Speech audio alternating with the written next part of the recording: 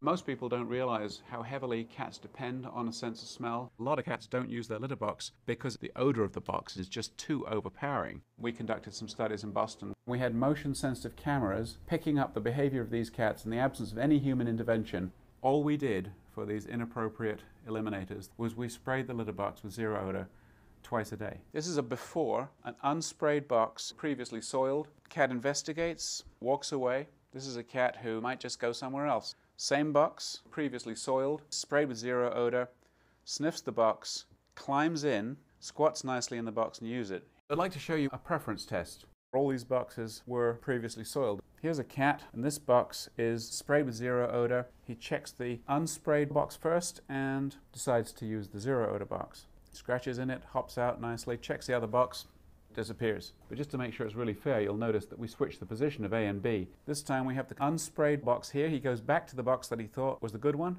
checks it out, doesn't use it, goes back to the zero odor box and uses it. What we found was that over 90% of cats showed a reduction of this inappropriate outside the litter box behavior. When you spray zero odor on a litter box and render it odor free, cats will come back to the box almost as if you've changed the litter.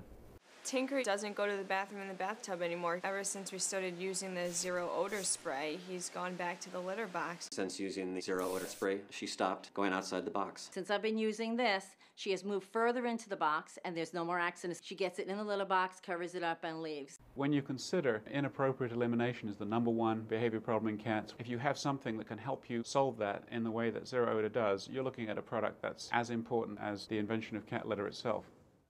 The Tufts University Zero Odor Study is reported in the Journal of Feline Medicine and Surgery. The study concludes that when litter boxes are sprayed with zero odor, significantly fewer behaviors associated with feline litter box dissatisfaction and inappropriate eliminations were observed. 11 of the 12 cat owners in the in home study reported a significant decrease in the number of inappropriate eliminations and a defined behavior change in which their cats showed a renewed use of their litter boxes.